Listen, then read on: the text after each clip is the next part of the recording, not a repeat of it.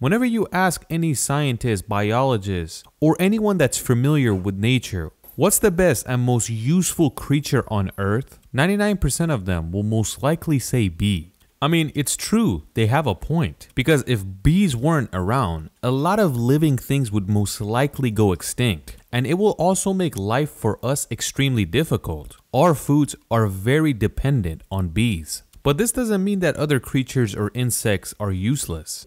Every organism does what it does, and it basically keeps the ecosystem balanced. But if you were to choose the most important and useful insect or should I say organism in the kingdom of animals, the bee is one of the top choices. But in this video, we're not talking about any bee. We're talking about a very special bee, an insect that is not interested in plants and flowers, but it looks for meat.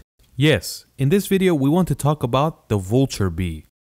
Unlike other types of bees where you can find them everywhere, we have three types of vulture bees and they can only be found in Central and South America. Vulture bees aren't anything like other bees. They don't go towards flowers and plants. And it's not like because they're lazy and they just want to find some dead meat and eat it. They're actually more active than other types of bees. And just like we said, it's called a vulture bee for a reason.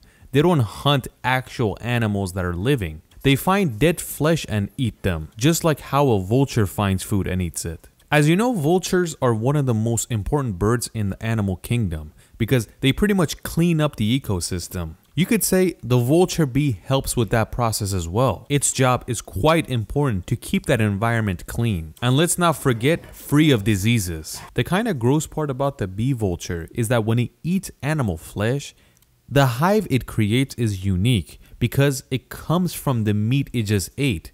It's not made out of honey or anything else. It's made out of literally old flesh. But let's not forget that meat is not the only thing they eat. They can also eat on flowers as well, like other bees, but they usually choose not to. Most of the vulture bees you see are workers, and their primary goal is to make life easier for the queen. They basically create a bigger colony and try to make a bigger hive that's safer for the queen. And of course, bring the maximum amount of food for the queen as well so the colony can keep on expanding. You could say they're kind of like North Korean workers. Everybody's working for the leader. But the leader in a beehive is the queen. The weird thing about the vulture bee is that why is it it's only found in Central and South America? And what happened to the bee that it pretty much evolved into this? because you really can't find any other insect that eats meat like this. Even though it looks similar to other bees, but it has a huge difference that many people don't notice, and that is that it eats meat. Some may say wasps eat meat as well. Yes, this is true, but they can't eat rotten meat like the vulture bee. Vulture bee, just like the vulture, can eat rotten meat and enjoy it. It's not gonna make the insect feel sick or make them die. So this bee's body evolved in a way that it could diffuse any type of bacteria that enters its body from this rotten flesh. That's why it can eat any type of old meat and not feel anything. And this is why some call these insects a champion because they clean up the ecosystem. Another thing that the vulture bee does that helps the ecosystem is that when a regular vulture eats flesh, they don't eat 100% of the rotten flesh. So there's always some left over, and this is when the bees tag in and pretty much clean everything up and make that area disease free. And when the bee vulture is done, the only thing that's left is bones. One of the most interesting thing is that the hive of this bee is unique and it's not made out of anything but meat. Another interesting thing is that when the vulture bee eats any types of flower, the honey it produces does not go towards the meat area. They make the honey in its own place. And of course, all that honey goes to the queen to create more workers.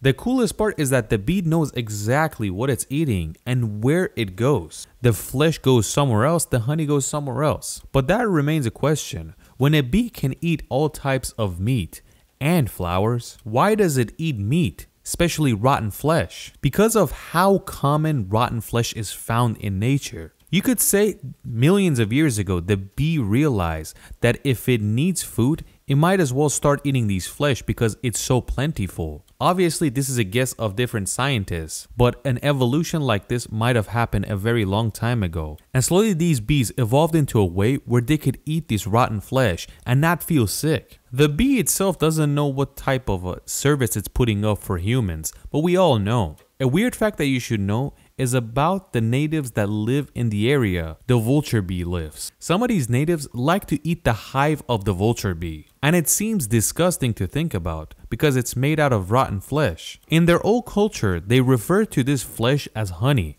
but it has nothing to do with honey. When you ask them why do you eat it, they say because it's sweet, but they really haven't tried it to see if they're telling the truth or not. And scientists advise people it's better not to eat it than eat it. Even though most of the bacteria has been diffused inside the bee's body, but there's always a chance of getting sick. Scientists are really trying to figure out how this thing tastes without actually tasting it.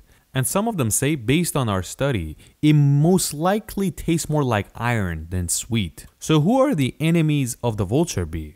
They really don't have any predators that go after them, but some types of birds will go for them, and it's kind of rare. But of course, let's not forget about humans. They are the number one enemy to all types of insects, including the vulture bee. They don't kill them directly, but they destroy forests, especially in Latin and South America, and they put the lives of these creatures in danger.